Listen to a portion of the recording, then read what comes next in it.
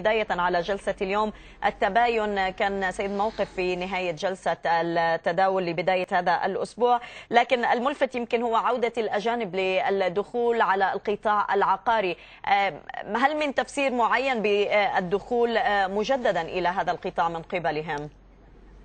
أتصور إن يمكن القول إن من المبكر جدا تحليل هذا الموضوع ولكن هناك ارهاصتين يجب أن يتم إيضاحهم. النقطة الأولى هي أن قطاع العقارات عادة ما بيكون في نهاية القطاع أو نهاية القطاعات التي يتم التركيز عليها خاصة انه من القطاعات التي تحتاج إلى دورة رأس مال متوسطة. فعادة بيكون التركيز على هذا القطاع من جانب المستثمرين الأجانب دائما ما بيكون متاخرا وليس في المراحل الأولى في هذا الموضوع. ولكن الأمر بالتأكيد خلال هذه الفترة أتصوره إنه مرتبط بشكل رئيسي بقرب استقرار الأوضاع السياسية خلال الفترة المقبلة ولكن المحرك الأساسي لم يكن هو هذا العامل ولكن من وجهة نظري كان مرتبطا بشكل أكثر رئيسية بمسألة إن هناك شكل من أشكال الفرص الاستثماريه بدأ يظهر في هذا القطاع.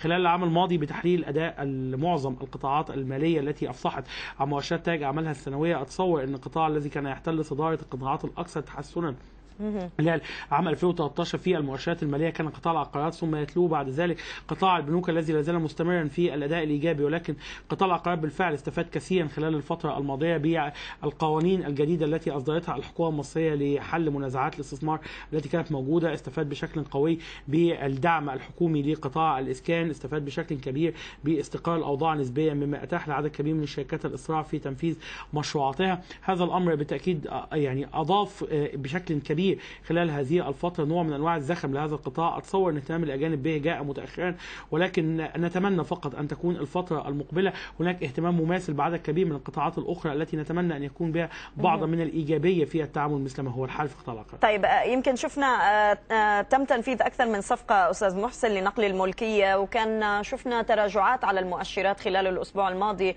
نتيجة لعملية النقل الملكية، ما هي الخطوات اليوم برأيك التي يمكن أن تتخذها البورصة يعني ليوقف هذا التراجع بالمؤشرات نتيجة لهذه العمليات ونقل الملكيات؟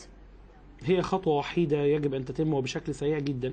وبالفعل اعتمدها مجلس إدارة البورصة منذ فترة وتم الإفصاح عن ذلك عن طريق البيانات الصحفية اللي بتفصح عنها إدارة البورصة المصرية ونترقب فقط القرار المتعلق بالهيئة العامة للرقابة المالية في هذا الشأن وهي مسألة ما يطلق عليه اسم آلية نقل الملكية أو آلية الصفقات الكبرى المصطلح عليها block trading هي آلية بتتم في شكل صفقات خاصة بتتم خارج وقت التداول لا تؤثر في أسعار الإقفال لا تؤثر في المؤشرات السعرية لا تؤثر في أي شيء وتتيح بشكل كامل تنفيذ مثل هذه الصفقات دون أن تؤثر على عمليات المتاجره التقليدية التي تتم. هذا الأمر كان من المفترض يعني أو نتمنى أن يتم خلال الأيام أو الأسابيع القليلة القادمة خاصة إن هذه الآلية متبعة في أغلب الأسواق العالمية وبل وحتى العربية وهو أمر بيساهم بشكل كبير في امتصاص أي ضغوط استثنائية بتتم داخل السوق. ولا يتيح أن تتم مثل هذه الصفقات عادة ما بيتم تنفيذها وفقا لشروط ومعايير وضوابط مختلفة تماما عن آليات التداول التقليدية. فيجب أن يتم فصلها عن عن العمليات التي تتم داخل البورصة خلال هذه الفترة وأن تكون هناك بعضا من الإفصاحات المتعلقة بها خلال هذه الفترات خاصة في المرحلة اللاحقة بحيث يتم الإفصاح بشكل كامل عن ماهية المشتري وماهية البياع والسعر الذي تم التنفيذ عليه وأن يتم التنفيذ في نطاق الحدود السعرية التي تتم داخل الجلسة هذه الأمور بالتأكيد كلها من شأنها أنها تضمن حسن سير التداولات داخل البورصة المصرية وأن تتاح خلال هذه الفترة مزيدا من الأداء الأكثر إيجابية خلال الوقت الحالي. إلى جانب الإفصاح كنا شفنا إصدارات قواعد العضوية أستاذ محسن بالنسبة للبورصة المصرية والتي تم الإعلان عنها. ما مدى تأثيرها اليوم على السوق؟ ما رأيك أيضا بهذه القواعد التي أقرت؟ هي بشكل عام هذه القواعد أصدر أول مسودة لها في نهاية شهر فبراير الماضي وتم عقد جلسات كثيرة مع عدد كبير من الجمعيات والعاملين والفاعلين في السوق وتم الأخذ بآراء كثيرة متعلقة بتعديلاتهم التي اقترحت على هذا الأمر ثم تم رفع الأمر إلى الهيئة العامة للرقابة المالية التي يعني وضعت وجهة نظرها أيضا في هذا الملف. ولكن في النهاية تم إكمال هذه القواعد. أتصور أنها عالجت عددا من المشكلات سمحت بأن يكون هناك تعاقد بيتم بين إدارة البورصة والجهة العضو نظمت عدد كبير من الملفات خاصة الملفات التي لم تكن قد نظمت من قبل مثل عمليات المتعاملين الرئيسيين وصانع السوق والملفات المتعلقة أيضا بأمناء الحفظ داخل البورصة المصرية.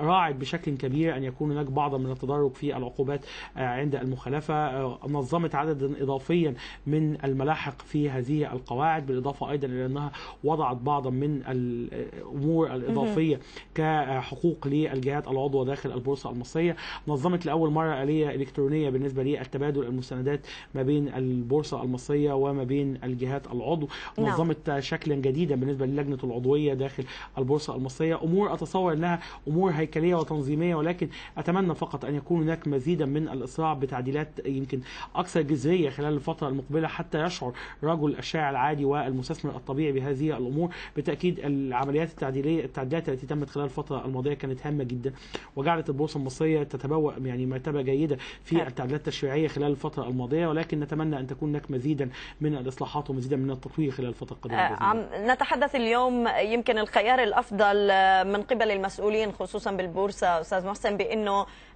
عملية ال ال الإدراج المزدوج ما بين البورصة المصرية وبين البورصات العربية الأخرى هو الخيار الأفضل حاليا من إنشاء بورصة عربية. نتحدث عن الإدراج المزدوج يعني ما هي متطلبات نجاح مثل هذه الإدراجات اليوم داخل السوق المصري برأيك؟ أربعة أشياء يجب أنها تتم يعني معالجتها بشكل عاجل جدا. فقد يعني قطعت شوطا طويلا في مناقشات مماثلة مع دول خليجية وخلافه في هذا الأمر. وكان هناك بالفعل تجربة خليجية سابقا بإصدار القواعد الموحدة للإدراج في مسودة أولى وكان بيتم مناقشتها في نطاق واسع خلال الفترة الماضية. الأمور حتى الآن تستلزم أربعة أشياء أن تعدل بشكل كبير أو أن تكون هناك توافق فيها. أولا معايير المحاسبة التي يتم استخدامها ما بين الأسواق العربية بعضها البعض. العنصر الآخر هي القواعد المتعلقة بالإدراج فهي تحتاج الان إلى بعض من الضبط في لكي تكون مقاربة بشكل ما ما بين الأسواق بعضها وبعض. التعديلات المتعلقة بقواعد الإفصاح والشفافية في بعض الأسواق هي مشددة وفي بعض الآخر هي ليست بنفس هذه الدرجة من الشدة.